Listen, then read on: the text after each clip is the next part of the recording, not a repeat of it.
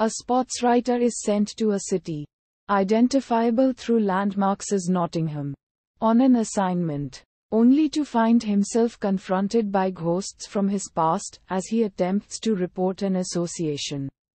Football match.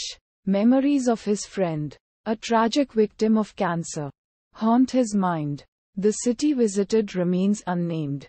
However, the novel contains an accurate description of Nottingham landmarks, its streetscape, and its environment in 1969, with additional recallings of 1959.